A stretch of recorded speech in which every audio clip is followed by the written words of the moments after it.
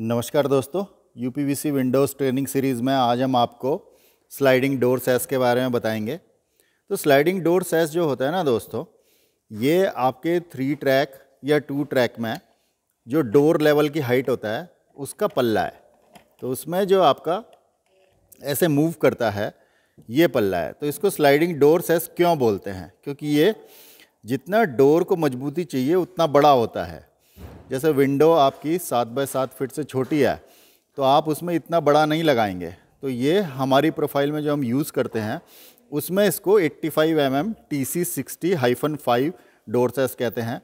पर आप लोग जिस भी प्रोफ़ाइल में काम करेंगे, उसमें आपको एक डोर सेस ज़रूर मिलेगा और स्लाइडिंग डोर सेस आपको समझने के लिए ये करना पड़ेगा कि जैसे डोर होता है आपका सेवन फिट एंड अबव तो उसके लिए हमारी प्रोफ़ाइल में ये 85 फाइव mm है। और इसकी प्रॉपर्टीज़ जब हम देखते हैं और यही चीज़ आप लोग जो प्रोफ़ाइल यूज़ कर रहे होंगे, उसके लिए अप्लाई कर सकते हैं। तो ये वीडियो सिर्फ़ हमारी प्रोफ़ाइल यूसेज के लिए नहीं, आप कोई भी प्रोफ़ाइल कर रहे हो, आपको पूरा आइडिया देगा कि भाई डोरसेस क्या होता है, उसकी प्रॉपर्टीज़ क्या, कैसे होती है। तो जैसे हम अपनी स्पेसिफिकेशन में जब इसको देखते हैं, है ना? तो यहाँ पे देखिए ये दे रहा है, ये 85 फाइव mm दे रहा है एक साइड का, आपका 85 फाइव mm है अपोजिट साइड वाला। है ना? ये छोटा वाला जो है, ये तो 69 है और ये बड़ा वाला 85 है और बीच का तो 42 होता है, हर एक सेस का, हर एक पल्लों का बराबर होता है। मतलब वन टू थ्री जब हम बोलते हैं, तीन टाइप के सेस होते हैं, छोटी विंडो के लिए मीडियम के लिए और फिर डोर सेस तो तीनों का 42 ही होगा और ये आपका 85 है इसमें और इसको हमारी प्रोफ़ाइल में T C sixty hyphen five बोलते हैं और इसका वेट जो होता है वन पॉइंट पर मीटर और एक बैग में फोर पीसेस होते हैं। तो अब हम जैसे बात करते हैं इसकी कि जब हम इन्वेंट्री मैनेजमेंट करते हैं तो इन्वेंट्री मैनेजमेंट के लिए आपको क्या नंबर्स लेने हैं? तो जैसे हमारी प्रोफ़ाइल का आप एग्ज़ाम्पल ले लीजिए। तो जैसे ये इसके बैग आए आए हुए हैं अगर आप देखें तो ये T C sixty hyphen five के बैग हैं, है ना? T C sixty hyphen five और बैग में एक की लेंथ लिखी है फाइव पॉइंट एट फोर और 5.84 और एक यूनिट वेट लिखा है 7.27 तो ये कैसे आया और इन्वेंट्री मैनेजमेंट में आप कैसे निकालेंगे ये केजी? ये हम बताते हैं। जैसे कि आपने यहाँ पे देखा था, ये 1.244 केजी पर मीटर था, है ना? तो और अगर हम ये कटे हुए पीस को देखें तो देखिए मैंने इसमें रोलर भी हैवी लगाया है, क्योंकि ये डोर के आपके ग्लास पर रहेगा कि कितने के कितना ग्लास का वेट आ रहा है, बारह एम का ग्लास है। या फिर six M M toughen glass है तो उसके बेस पे आपके रोलर लगेंगे।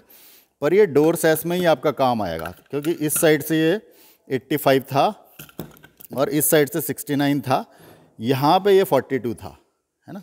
तो ये तो हमारी प्रोफ़ाइल के लिए आपको यूज़ करने के लिए हो गया, ये 42 है और ये 85 है और इस साइड से 69 है। तो जब हम देखते हैं कि इन्वेंट्री मैनेजमेंट के लिए आपको क्या लेना है तो आपने देखा ये 1.244 केजी पर मीटर आया था। तो आपने 1.244 को, क्योंकि 5.85 की एक यूनिट होती है, एक पीस, एक छड़ जो है, वो 20 फीट के आसपास की होती है और 5.85 मीटर।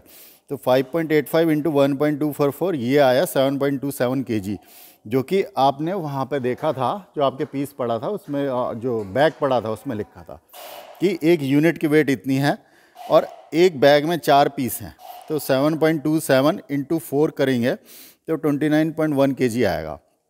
तो अगर आपको बैग का वेट निकालना है तो ये वाले फार्मूले से निकालेंगे। सेम चीज़ आप अपनी प्रोफ़ाइल के लिए भी यूज़ कर सकते हैं, क्योंकि वहाँ पे भी यही नंबर्स होंगे, थोड़े अलग होंगे और बट तरीका यही होगा निकालने का।